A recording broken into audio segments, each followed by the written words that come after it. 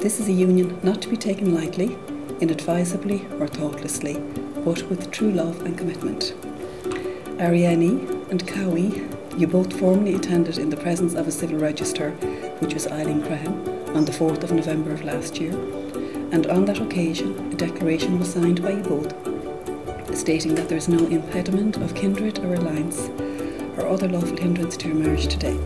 I do solemnly and sincerely know not, may not be joined in matrimony. I do solemnly that I know not of any lawful where I may not be joined in matrimony. I call home that I, Conway Ariane, to be my lawful wedded wife, for better, for worse, for richer, for poorer, in sickness and health, all of our life. I call upon these persons here present to witness that I, Ariane, to take you, Cauê, to be my lawful, mother's husband, for better or worse, for richer or poor, in sickness and in health, all the day of our life. Ariane, I give you this ring as a token and honor you. Cauê, I give you this as a token that I will love and honor you. Now, ladies and gentlemen, Ariane and Cauê have solemnly bound themselves in wedlock before these two witnesses, and by virtue of the authority vested in me by the Civil Registration Act 2004, I now pronounce them husband and wife.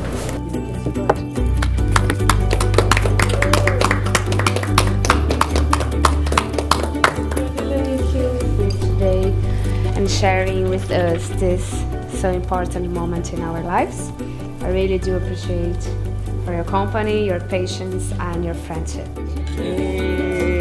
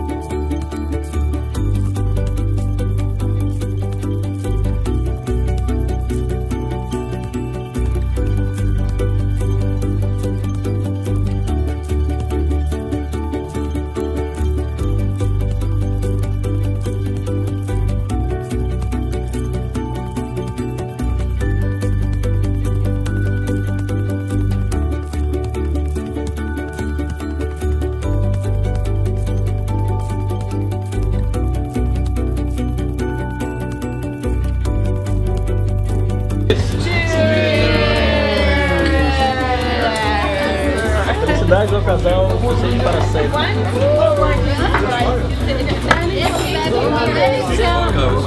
Dure para sempre. É de uma vez?